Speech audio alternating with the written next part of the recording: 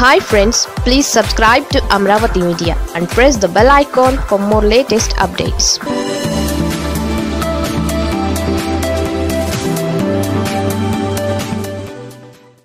టీడీపీలో కేసినేని నాని కథ క్లైమాక్స్కు వచ్చిందా?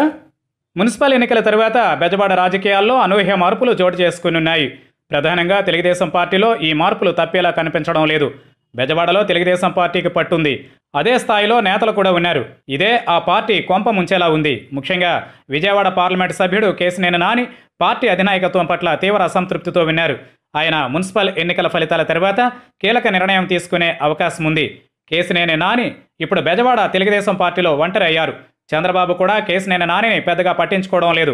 ఆర్థికంగా సామాజిక పరంగా కేసినేని నాని వల్ల ఉపయోగం లేదని చంద్రబాబు అభిప్రాయపడుతున్నారు. అందుకే బెజవాడ టీడీపీలో మిగిలిన నేతలకు ఇచ్చిన ప్రాధాన్యత కేసినేని నానికి ఇవ్వడం లేదు. పార్టీకి ముగ్గురు పార్లమెంటు సభ్యులు ఉన్నా వారిలో కేసినేని నానిని విడిగా చూస్తుండడమే ఇందుకు ఉదాహరణ. దీనికి తోడు విజయవాడ కార్పొరేషన్ ఎన్నికలు కేసినేని నాని పార్టీ అధిష్టానం మధ్య మరింత దూరాన్ని పెంచాయి. తాను గెలిచిన ఎంపీనని ఓడిన ఎమ్మెల్యేను కాదని కేసినేని వార్నింగ్ నేరుగా అధినాయకత్వానికే ఇవ్వడం పార్టీలో చర్చనీయాంశమైంది. కేసినేని నాని తన కూతురిని మేయర్ చేయాలనుకుంటున్నారు. అందుకు టీడీపీ నేతలు బుద్ధ వెంకన్న బోండా ఉమ దేవినేని ఉమ వంటి నేతలు అంగీకరించడం లేదు. ఒకవేళ టీడీపీ అధిక స్థానాలను గెలుచుకున్న చివరి క్షణంలో అధినాయకత్వం కేసినేని నానికి హ్యాండ్ ఇచ్చే అవకాశాలు ఎక్కువగా కనిపిస్తున్నాయి.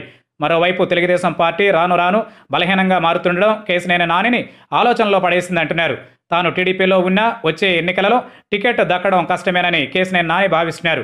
టీడీపీలో ఉండి టెన్షన్ పడే కంటే మున్సిపల్ ఎన్నికల తర్వాత జెండా పీకివేయడమే బెటర్ అని కేసినేని నాని భావిస్తున్నారు.